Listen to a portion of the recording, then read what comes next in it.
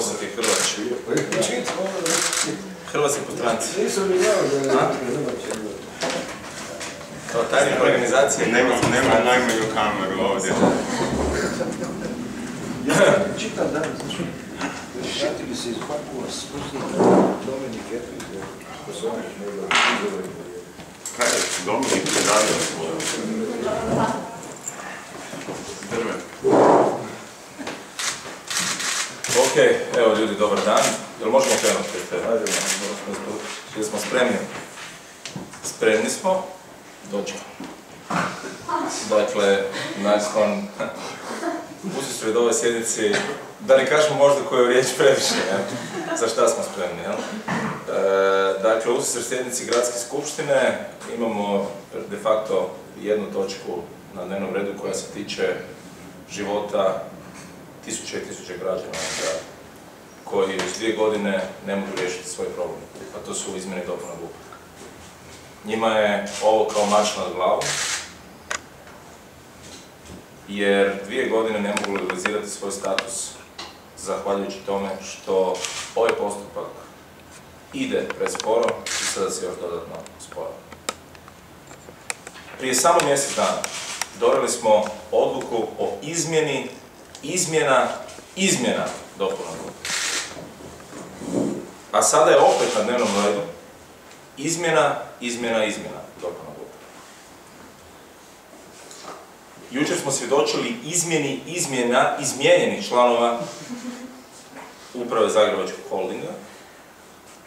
A ono što možemo reći i što vidimo da je izradom izmjena izmjena, radi izmjena u dvije godine, zadnje dvije godine, su rezultirale ostvarenjem bezbrojnih projekata u gradu Zagrebu.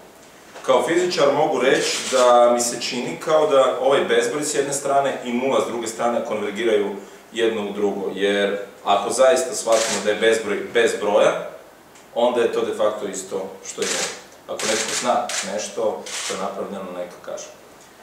E, Ova izmjena, izmjena radi izmjena, će dodatno usporiti donošenje GUP-a i to je nešto što nas zabrinjava. I na ovaj način gradska uprava de facto priznaje da grad u dvije godine ne funkcionira. To jest, izabrali su ravnatelja, gradskog zavoda, dvije godine za redom na gradskoj skupštini, skupštinska većina izglasava njegovo izvješće, to radi naravno zato jer pretpostavlja da sve dobro funkcionira, a na ovaj način de facto pokazuje da oni ne mogu obaviti ovaj svoj posao.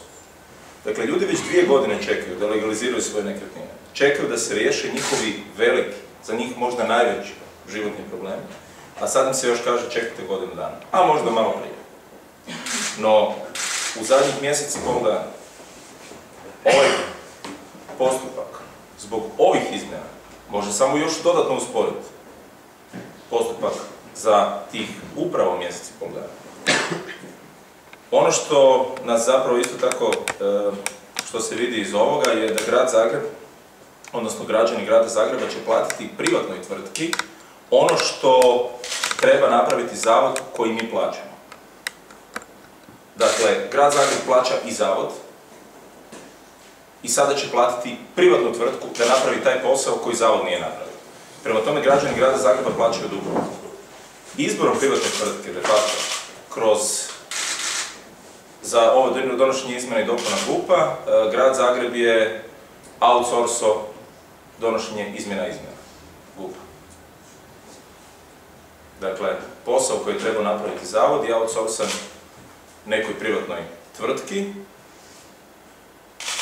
i ono što je poanta priče je da de facto grad Zagreb i gradski zavod ako ne može napraviti posao, to outsourca privatnoj tvrtki, a građani grada Zagreba plaćaju i taj zavod koji nije napravio posao i tu privatnu tvrtku koju će, koja će vjerojatno, odnosno možda napraviti posao. Dakle, ova gradska institucija je outsourcena. I ako pojedini zavodi, službe ili gradska uprava ne mogu napraviti posao, možda je najbolje da outsourcaju sami sebe. Ali onda bi bilo fair da građani grada Zagreba ne plaćaju, da ne plaćaju i zavod i outsourcing. Što se tiče Zagrebačkog holdinga, mnogima sam jučer odgovorio. E, ono što ću tu ponoviti je da gradska uprava ima već pune dvije godine sve mehanizme u gradu Zagrebu, skupštinsku većinu, gradonačelnika, kompletnu gradsku upravu i de facto sa ovim izmenama uprave holdingu sada se radi nekakav igrokaz jer se zna da rezultata jednostavno nije bilo, da su rezultati izostali i to vam je tako, ne? kad ne napravite puno onda stvorite dojam kao da se dolazi do promjena, a svi znamo da je sve do sada ista stara pjesma. E, ono što je važno reći da ne želimo da zbog ovih prepucavanja, da zbog ovih neriješenih odnosa, da zbog ovih međusobnih optuživanja, optužbi koje je kriv ko nije, pati građani grada Zagreba koji će sada de facto platiti 3 miliona kuna odštete po menadžerskim ugovorima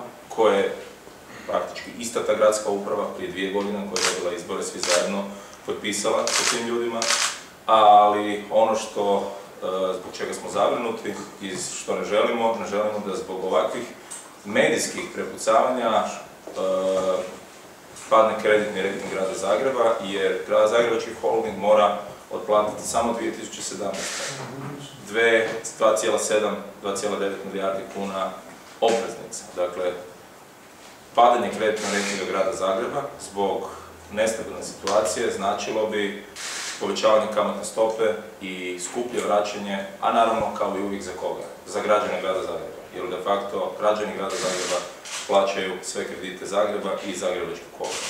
I to je nešto zbog čega smo zabrinuti i zbog toga taj model funkcioniranja nikako, nikako nije dobar. Evo, to su dvije teme koje su ovih dana okupirale javnost, pa ako ima bilo kakvih pitanja, slobodni smo odgovoriti na dodatna pitanja i dati dodatna Jeste li čuli prije za gospođu Anu Stojić Anu Stojić, pa ne mogu se sad sjetiti, moram priznati. E, Pa recite, šta je gospođa? Ona je trenutno na čelu holdinga. Na čelu holdinga? Eto, hvala na informaciju.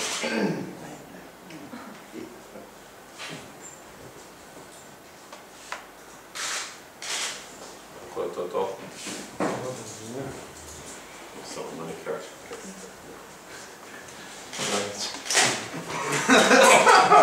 Legenda. Sad